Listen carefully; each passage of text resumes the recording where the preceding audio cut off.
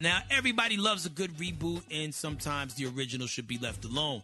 Now, I don't know if y'all remember, but about, I don't know, about a year and some change ago, there was a trailer for a darker spin of The Fresh Prince of Bel Air. The only reason why you're not in jail is because Uncle Phil called in a favor.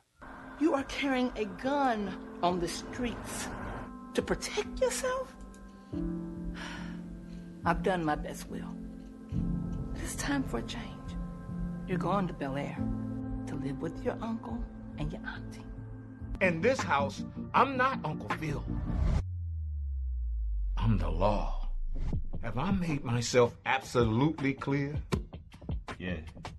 Yeah. Pretty aggressive, but very much like in that true Philly spirit. I wasn't mad at it. So, word on the street is Will Smith's Overbrook Company is, is actually shopping at Bel Air reboot to multiple networks, including Netflix, HBO Max, and more. They even got some of the original Fresh Prince of Bel Air producers involved to help pitch it. I think it's kind of dope, and I think it might be able to go. If you haven't seen the fan made trailer for the original Bel Air joint, you can check it out on YouTube. It's actually pretty solid. You'll be impressed. Moving on another hip hop news, let's talk about the game. All right, now some people talk about, hey, if you could trade somebody from this race to another race, who would you pick? Later for that, the game actually wants to trade souls. He uh, took to social media yesterday with this statement, and I quote, Pop Smoke dead, but 69 alive. Hashtag.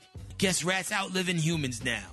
And you know, when you look at it in the larger scope of things, Tekashi 69 went out there and did all the things that no one ever thought he was gonna be able to pull off. Told on everybody in his gang, got out, he's shooting music videos, he's moving around the city, he's security up, and he's getting crazy money. And people can't wait to do songs with him. Shoot, Akon even gave him his locked up song to redo. And to find out that's gonna be on Akon's next album.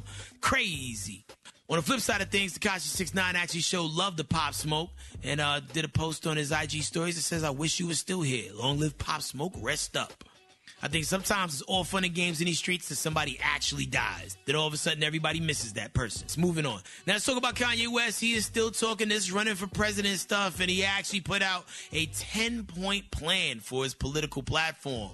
Uh, some of those things include restore faith and revive our constitutional commitment to freedom of religion and the free exercise of one's faith, demonstrated by restoring prayer in the classroom, including spiritual foundations. Another one is to restore the sound national economy, reduce household debt and student loan debt. I mean, he actually has some really valid points here. The problem is, once again, you're not going to be on every ballot. You're going to distract people from voting for the lesser of the two evils that we'll have to vote for. And we'll go into that later on this morning. But it's just like, come on, man. There's enough confusion in the world. We don't need anybody else muddying the carpet. It's already ugly out there. But I digress. For this and other stories I'm following, Twitter, Instagram, and SoundCloud, H E A D K R A C K. We, we are the morning hustle.